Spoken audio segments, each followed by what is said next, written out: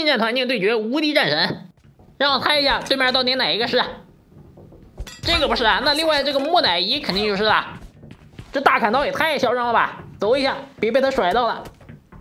摇摆回头，我一锅。好，这个木乃伊成功的让我感受到了一点点的压力。循环利用，捡起来。我甩，有点走位的。再捡。切换模式，我就不信近战拍不过你。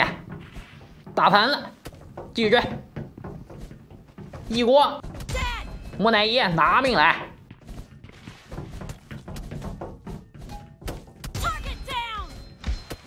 金剑团境回归以后，拳套倒是没了，不然可以用拳套稍微回下血。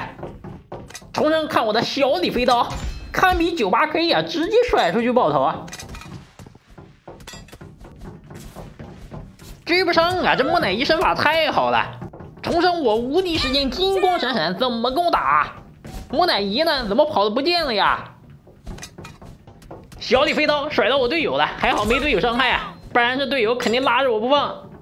无敌，你今天不给我个手册，今天别想走了。这模式旋转刀法就可以派上用场了，近距离我根本就没输过啊！